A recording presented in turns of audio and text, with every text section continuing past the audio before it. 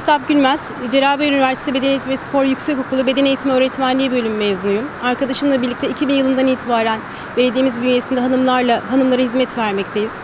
Ee, hizmet kitlemiz hanımlar, Alalı hanımlar ve Alalı çocuklar. Ee, ağırlaşan yaşam koşulları, günün koşturması, ritimli bir yaşam ee, ve bunun beraberinde de hareketsiz bir yaşam sonucunda e, giderek ağırlaşan e, yaşam koşullarının getirdiği eklem ağrıları, kas ağrıları, postür bozukluğundan kaynaklanan, duruş bozukluklarından kaynaklanan ağrılarımızı derslerimiz sırasında kullandığımız egzersiz, egzersiz programlarıyla ve birebir çalışmalarımızla e, en aza indirmeye çalışıyoruz. Merhabalar, adım Derya Yıldız Bilgenoğlu. 14 yıldır Ali Ağa Belediyesi'nde çalışıyorum.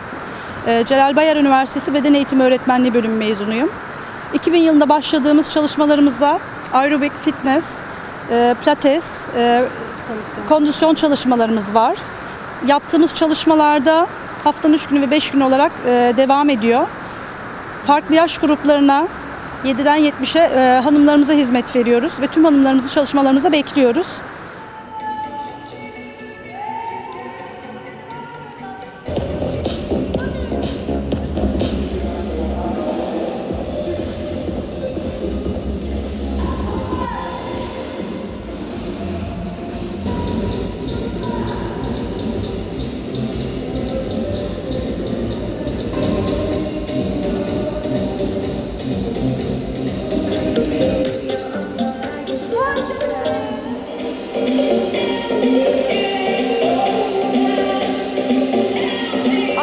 Badegül Günerhan. 40 küsürat yaşındayım. İki senedir buraya geliyorum. 10 kiloya yakın kilo verdim. Sigarayı bıraktım. Mutluyum, huzurluyum. Merhaba ben Sevil. Ee, 2000 yılından beri hocalarımla birlikte başladım çalışmaya. Çok mutluyum. Kendimi çok zinde hissediyorum. En azından kendime zaman ayırmış oluyorum ve herkese de tavsiye ediyorum. Teşekkürler. Merhaba, adım İlkay Özkan. Ee, iki çocuk annesiyim. Ee, Üç senedir aktif olarak buraya geldim. Bu sene dördüncü senem.